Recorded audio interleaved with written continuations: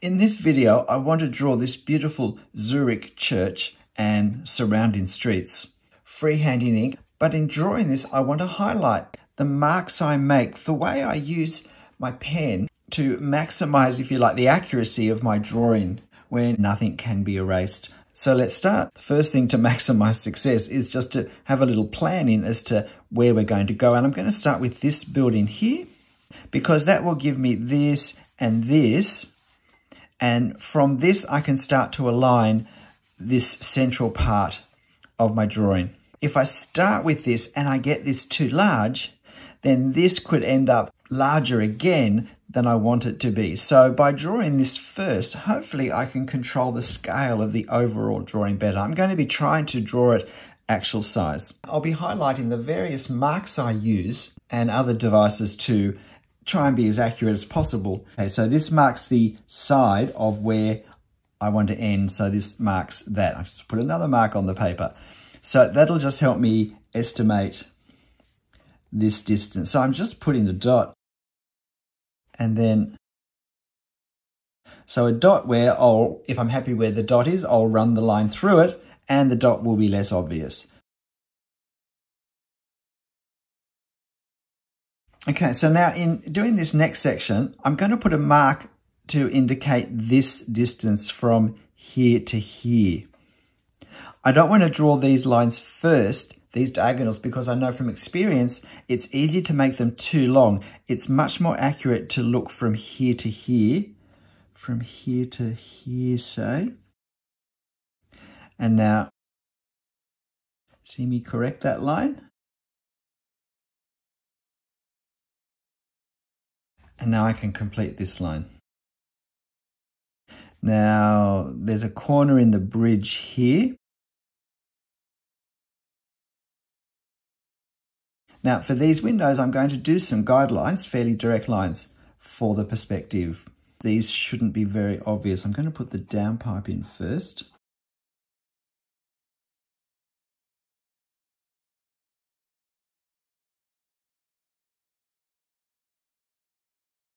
So I've just tried to capture the effect of that, not any exactness. But now I can measure off where this is.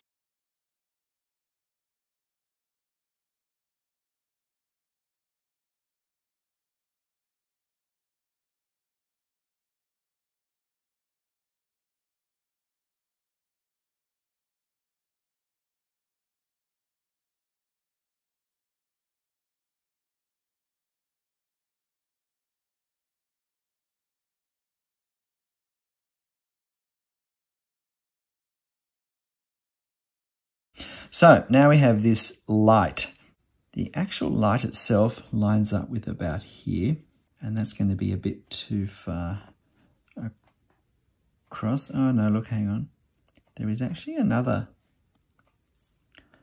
line there. So this comes across and that, yep. I always prefer just to leave a wrong line, put the correct line in so that I position my shapes properly. So this sits there.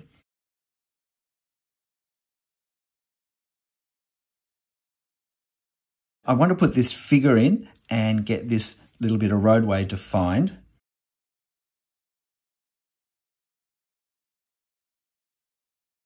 And just notice here that this isn't straight because the ground level isn't quite straight. So now this figure is going to go from just about there and their head's going to line up with about there and now I have to visualize our gentleman there and think, is this look about right? Because I'll be aligning the cathedral partly with him. I think his head's just a little bit too close. So, okay, so now I just put his head in. Always do the head smaller than you think. And just make his legs a little bit longer than the marks I left for them. And now we can see that the bridge will end just a bit past that.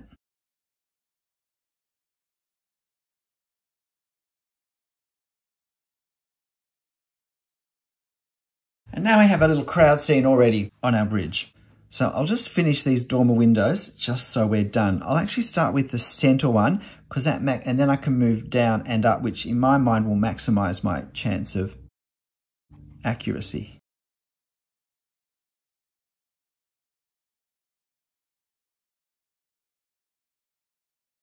And I just realized that I have been actually drawing with a 0.3 millimeter pen. So that explains why I was getting a heavier effect overall than I was expecting. I'll use a 0.2 for the rest of the drawing. The first thing I'll do is just to establish this ground level here, which is going to come in about here, I think sort of a few more tentative marks there because I don't want to draw a solid line just in case it's not quite where I want it. And I need also to establish this line here because this is going to be the baseline for the cathedral. And that should line up with the top of this. So just a mark to see, is this the sort of distance I expect? There's kind of like a halfway point in the center of that person there, that gentleman, I think it is there. And I think that's going to look okay. Because I've got these lampposts coming in front, I just going to do a few a few dots at this point. And I think what I'm going to do now is establish this the base of this tower now. And so this downpipe is the corner of the tower. Now it goes through that guy's head, but it's more important that I get this proportion correct than worry about whether, because he's probably a bit far out into the street. What I might actually do is put this line and I'm wanting to create this shape. And so now there's also a line here. And now there's a line here. And again, I'm looking at this distance here. I'm not going along the diagonal. And it's less than this one, so I want it to be less than that. Okay, and if I'd paid more attention, I would have seen that we don't actually have a line there. The line angles up above. A fairly light line still that I can correct if they're too much of a mess. And now we have a line that's going to be sort of coming about, about halfway between here and here. So we want to position it nicely. And now this line is going to be pretty much, uh, it's a bit less than that actually. And it angles down to here. But again, I'm just, I'm more concerned about getting a line that where the angle looks correct than exactly where it lines up. So now I think that's, that's looking a reasonable proportion. And we go slower on this tower because we'll be reading the next tower off it and the, and the bit in between as well. Now I also wanted to leave to put some marks to indicate where this tree is going to go. That's reserved that. So I think this tree actually can go a bit higher. Now this distance here is a bit more than that distance, I think. But the other thing is we want this tower to be pretty much touching this one. Now from here to here does look like it's the same, maybe slightly less than from there to there. No, see I didn't get that right. There's less of this roof showing than I thought. And that changes where this line angles from. And of course this needs to align here with this. And again, I've got to be tempted not to come down from there, but actually to look at, you know, from here to here. I can push that slightly because there is actually some decorative architecture there. I'm lost because this goes down there. So this angle here had to be much steeper than I was allowing for it.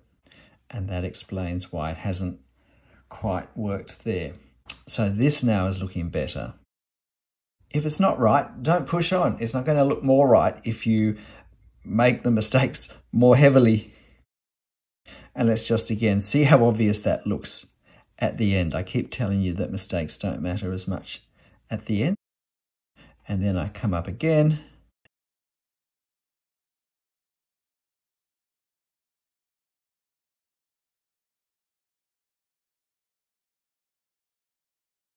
And we might as well position this because we have everything we need to position it. Um, so I'll do the base first, which lines up pretty much with this corner. The important thing is we center it.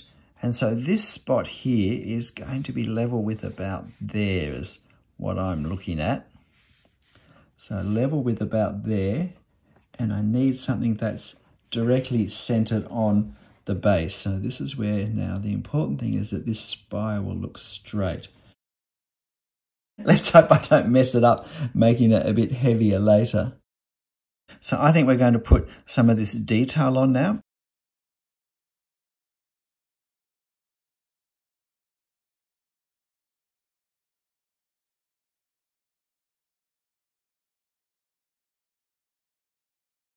Always place the head first where we want it and then make the rest of the body fit.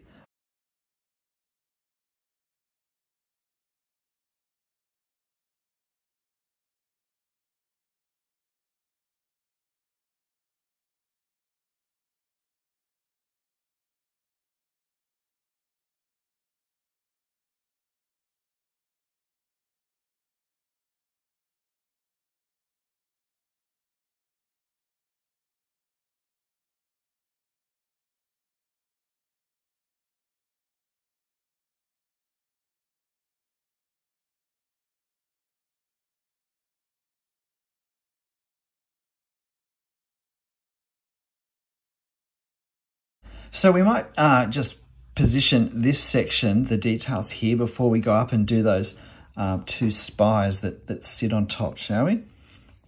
So again, I need a few a few um, marks to just help me position things. Now, the important thing is that the proportions end up well against the tower, not necessarily that they end up accurately against the house. So I'm going to put these lines down where I think so I'm kind of just checking where I want the outsides of the window to be. I want that line to come down there. The buttress comes out from there and then it's to there. And then there's another one here.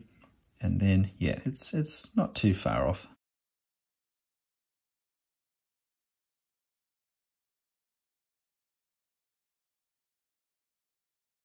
So we're staying pretty gestural with that and we don't want to connect it too closely with the house or it will actually become quite um, just a bit congested with ink. So there's the roof and this, this buttress sits back a little bit of the roof. Now these sit in the middle so I'm going to position them, the, the gap between them. So I'm really going by negative space at this point. And there we go with those. And I have these little, I hate doing these things. Um, they're just really hard to get the angle right on the roof.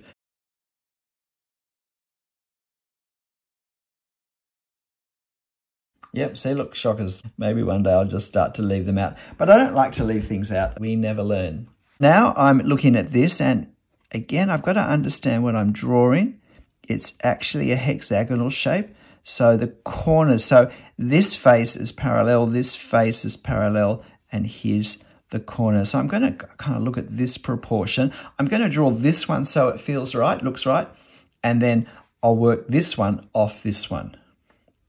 So I'm looking at sort of from here to here is about the same maybe as from there to uh, probably a bit more than from there to there, there to there.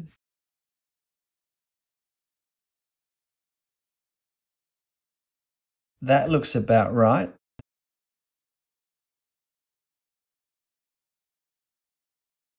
Now, is this going to be, I don't know that it's quite, I think it's looking a bit small, having been worried that it was too big. So I'm just going to push it out slightly here.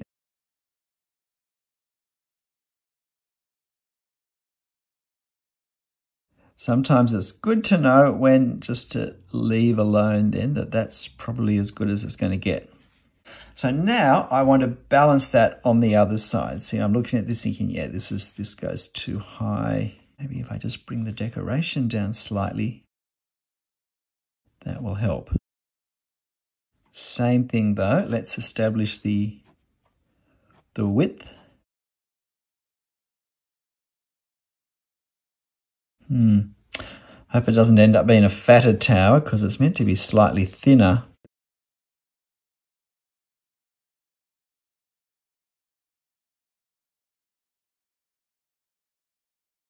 That's better. Sometimes to add the extra line, even if it creates a little extra line, the silhouette is more important than any one line. And I think for that, for that top right tower, that's the case.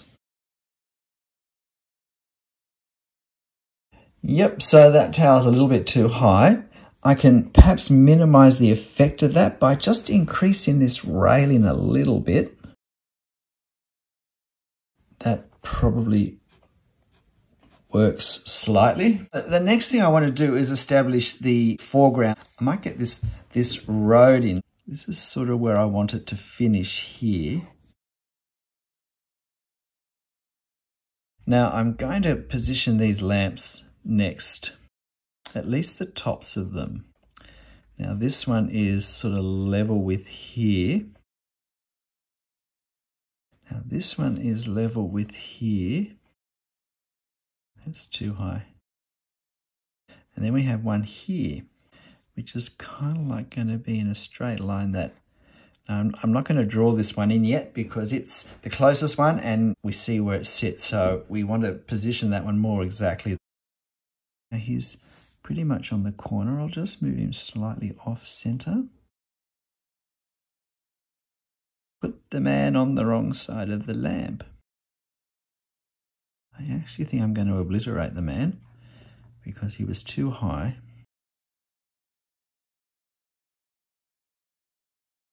And now we get to actually place the, the bridge here.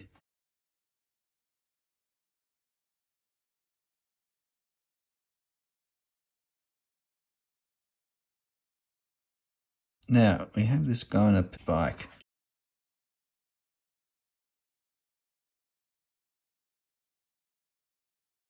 we really just want to be suggesting the bike. So now I've got this, this guy over here.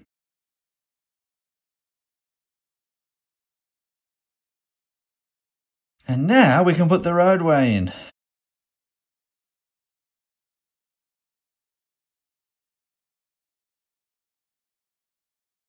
This line actually comes across And isn't it good that we move this gentleman who was up here somewhere? We don't notice that he was in the wrong place at all anymore, do we? Might do the cross hatching of the tree. I'm going to make this nice and dark. Try and make these couple of lampposts stand out.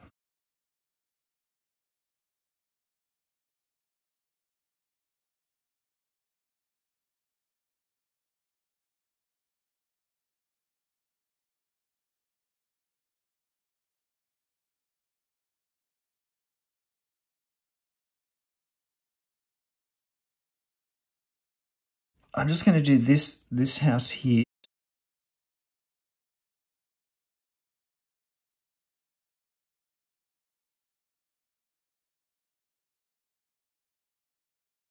And now I'm going to use a finer pen, a 0.1 millimeter pen for this building that's in the back, furthest background, just to make sure it sits nice and far back.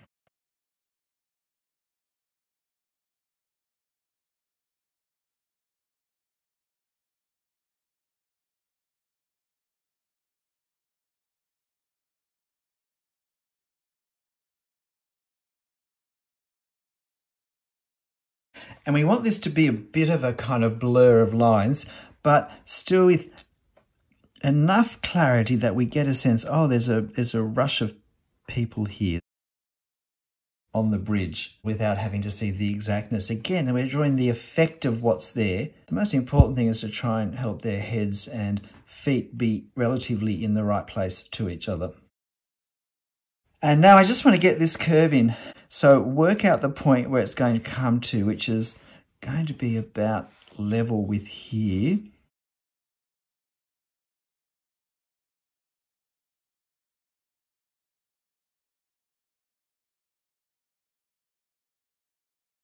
So just a little sense of um, texture here in the foreground, just to add a little bit of interest.